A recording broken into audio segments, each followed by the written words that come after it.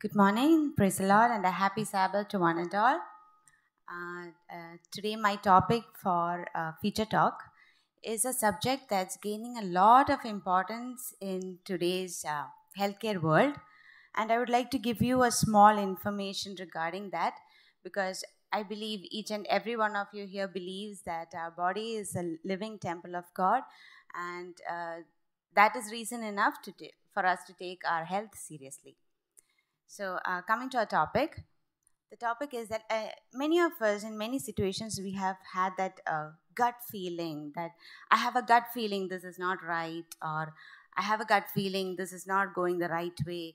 Uh, we have that butterflies in our tummy feeling when we are excited, that that tingling sensation when we are nervous. Now, in all these situations, these signals are sent by your body from a very unexpected source your second brain or your gut. Now, uh, for those who are new to this term, I would give you a small brief on uh, what is gut, what is the gut health, and what you can do about it. Now, the gut uh, means your gastrointestinal system, basically, your stomach, your intestines, your colon. And uh, the health of this system determines your gut health. Now, to understand the impact of gut health, uh, let's understand the function of gut. So, what happens is when you eat your food, your gut digests it and breaks it down to the most basic parts, which is absorbed through your gut wall and distributed using your bloodstream.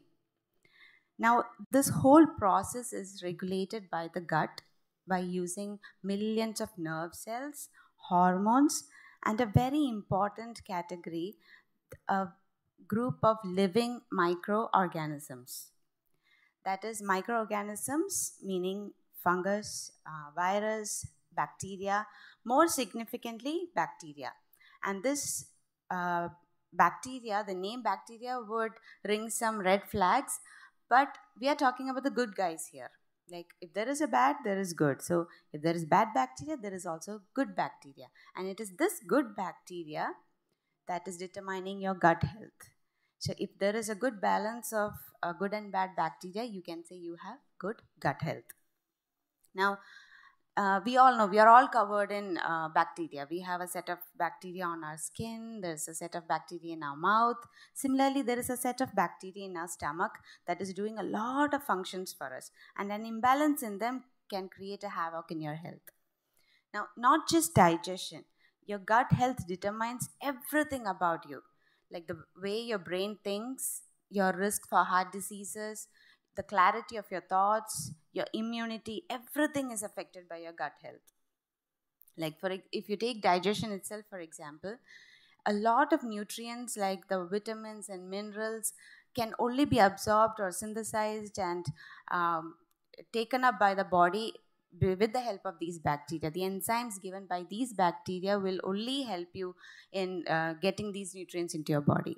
So, a good balance of healthy bacteria in your gut means a good digestion, better nutrition, and better physical health. Another important function of your gut is it is lined with millions of nerve cells that form the enteric nervous system that communicates with your brain through the central nervous system and a lot of neurotransmitters are synthesized in your gut like the serotonin the dopamine the GABA. All these are called as the happy hormones. And it is the gut that synthesizes these happy hormones. So it's also called the feel good hormones.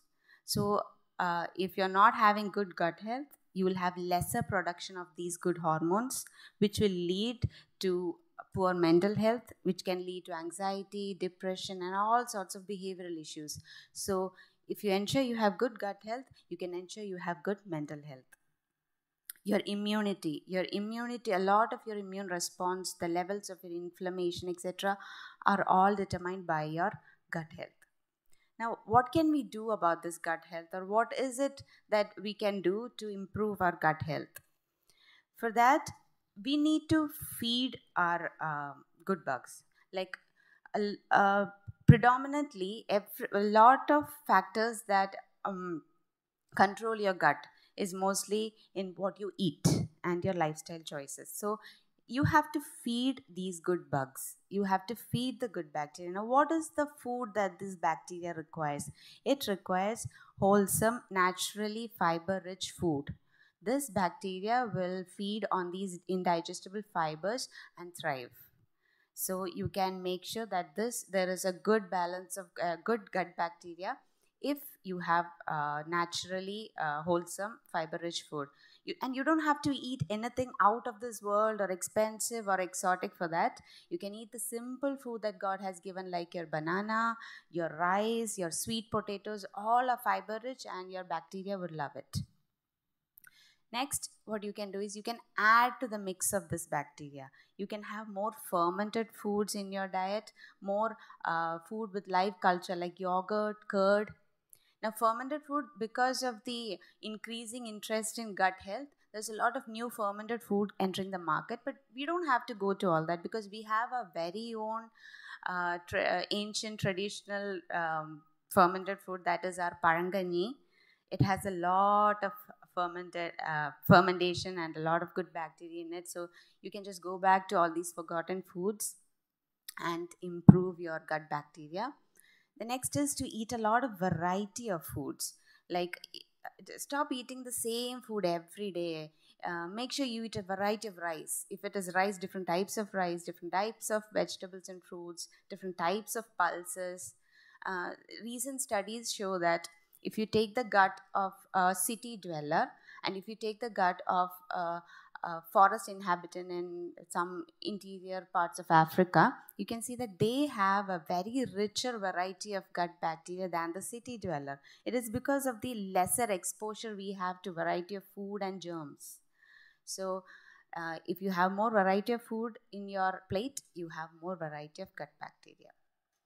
And the next one is to say no to unwanted use of antibiotics. Like when do we use an antibiotic? When we are sick and we want to feel better and we want to get cured. Now, when does an antibiotic work? An antibiotic works when the sickness is caused by a bacteria. And it kills the bad bacteria, also, it kills the good bacteria. Now, what if your sickness is caused by a virus or a fungus? It will not work.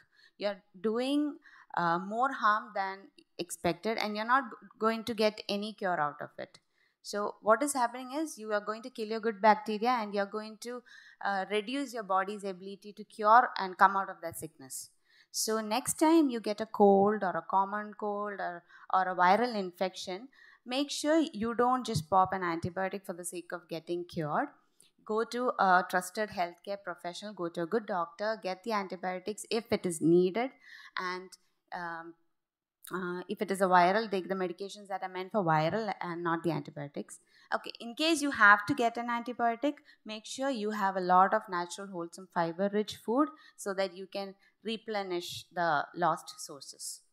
The food for bacteria is called as prebiotic, that is your rice, your bananas, your sweet potatoes, all those fiber, they are called as the prebiotics and the live culture the replenishing the culture is called as probiotic. The food that is rich in all the live culture is called as probiotics. So once you have a dose of antibiotics make sure you have enough of prebiotics and probiotics in your diet to get well soon. And the next one is say no to packaged processed and artificially sweetened food. These are nothing but empty food. They just make your stomach full and nothing else you don't get anything nutritious out of it. There is no fiber for the bacteria to feed on. There are no nutrition nutrients for the body to absorb. It's just going to make you sick in the long run. So the next time you're hungry and you reach out to that packet of biscuit or chips give that banana a chance. It's as simple as opening that packet of biscuit or chips. It's as simple as open, just peeling it and gum. Yeah? So think twice the next time uh, you're hungry, think of your gut bacteria and make sure you have wholesome natural food so that uh, you are in the best of your gut health and you can have the best of your physical and mental health and be of more service to God and mankind. Like uh, First Corinthians ten thirty one says, "What uh, whatever you do, whatever you eat or drink, and whatever you do, do it all for the glory of God." Thank you.